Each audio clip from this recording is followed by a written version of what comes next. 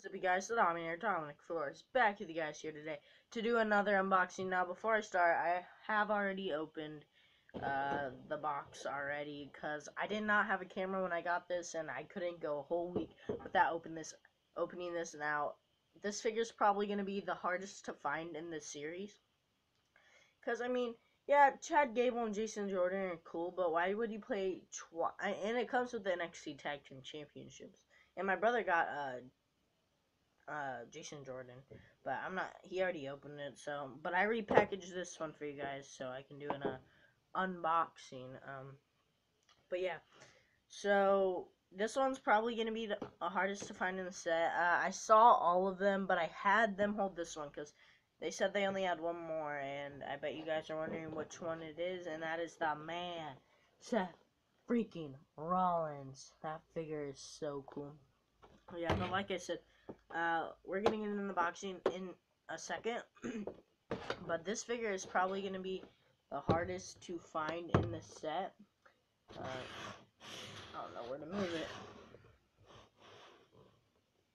Alright, well, we'll, ju we'll just set it right there. That's good.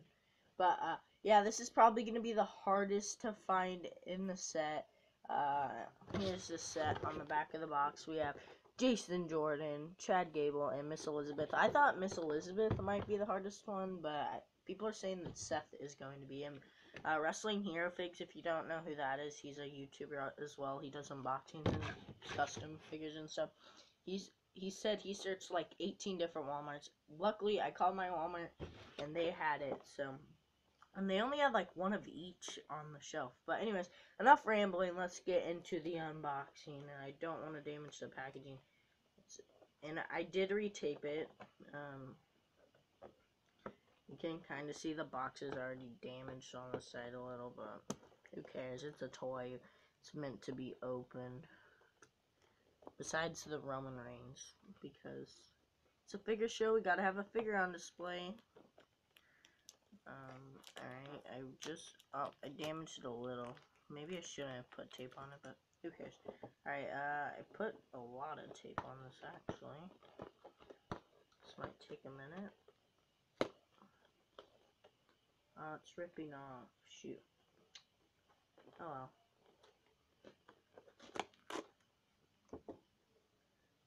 I'll just leave it like that. Um, anyways, if I can get this open, that would be nice.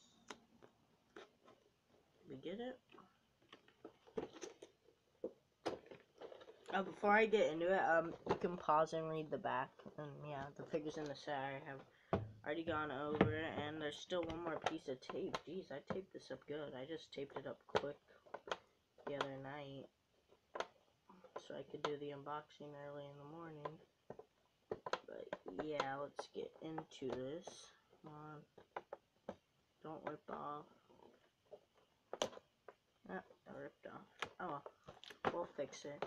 Uh, geez, still more tape. Alright, there we go. Alright, and you can see my dog. There might be some dog hair on it, but, you know, whatever. Opening the box. Yep, there's a bunch of dog hair, husky hair, flying out. Now, like I said, I did open it, but I did keep uh, these things in to show you guys. Mattel is packaging like that now, and I don't like it. I don't like the rubber bands at all. But these make it worse. I hate the twisty tie things or whatever they are. I hate those. They're super hard to get open. This figure was kind of hard to get open. Of course, now it's not going to be. But let's take out the WWE Championship first. Now, I do not have that belt. Uh, I have the original Winged Eagle Championship, I believe. But I have a current WWE Championship, and that's another reason this figure was cool to get. But also the detail on this figure. Let's get it out. Alright, yeah. Uh, this figure is awesome. Lots of people don't like the face scan. Personally, I like it. I mean, uh, I, they've been making a lot of Seth figures with that face scan, and I'm kind of getting used to it now, but I actually kind of like that. Uh, the detail on the jacket, I love. This is like my favorite accessory. I do like the WWE Championship, but the jacket's my favorite part personally. Um, But yeah, the belt buckle. And I did notice this. It says it has Cecil logo. I don't know if you can see right there.